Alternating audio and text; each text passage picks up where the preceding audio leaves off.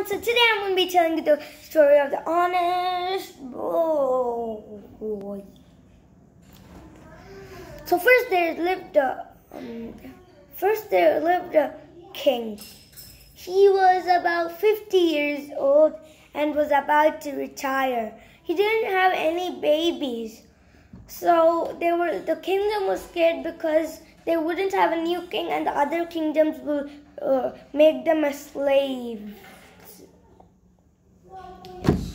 So they were so they were pretty scared. So the king thought to himself, "Hmm, I'll give everyone roasted seeds. Everyone in the village, uh, I'll give them roasted seeds." So after let's see who's the honestest. Because I'll give them roasted seeds.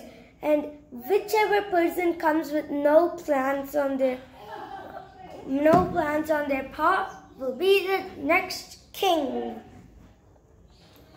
So kings and kings and dads and everyone came, about 30 people. And finally the boys turn came, he took the roasted seeds and put it into the pot and looked after it every day. But still, it didn't grow. Three months went by, and the king told to come with their plants. But only for it finally came his turn, but he didn't have any plants. So the king told, Why don't you have any plants in your pot? I put the best of best soils. Because I'm poor, I couldn't put uh, uh, best best of best soils. So I just put normal soil, but it still didn't come. Sorry, king.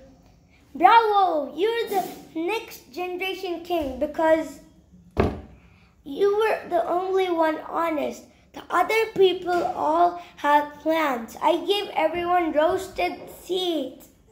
So that's how the story went. I hope you liked my video. Bye bye. If you liked it, please subscribe. Thank you.